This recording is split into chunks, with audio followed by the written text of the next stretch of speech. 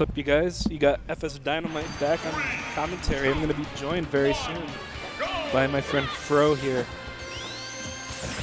So looks like we have Fiction up one in this 1-0 in this set versus Lui-Vee. I didn't happen to see game one, so I don't know how that played out.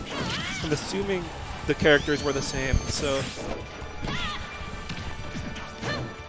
wow, that down smash so scary. Ridiculous amount of shield damage. Test, test. You hear me? Yep. Ah.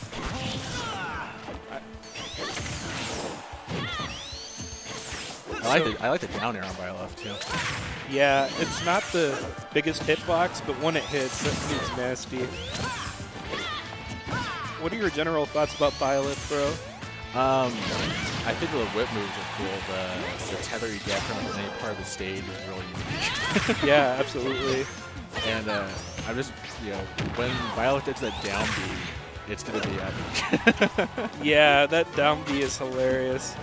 The recovery is ridiculous. It's like Joker's, but even better. yeah. Although you can like.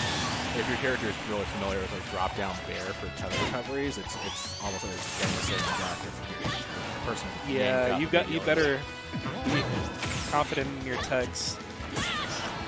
We'll. Fiction's now got uh, three to one or three to stop lead right now.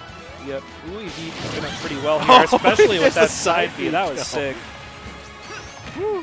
What a call out on the down air. Trying to, uh, you know, try to Sonic's approach short that tilt. Nice F tilt there to get Sonic off, but Fiction just doing a really good job right now. Kind of poking away with homing attack and not playing too committal, just kind of doing a nice hit and run strategy. The forward smash going to be taking two stocks. Oh, oh, wow. Wow, that was interesting. Nair. Yep. Quite a good move. I don't think it's quite on the level of like hit Nair maybe, but it's not bad. Oh, nice grab there by Lee. Oh, Oh, trying to jump for the. Fiction not having any of that.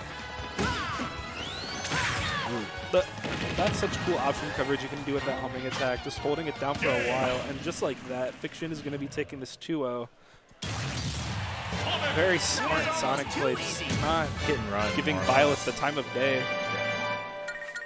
People already, from what I've been seeing at these stream matches, just playing against Byleth in the matchup very intelligently.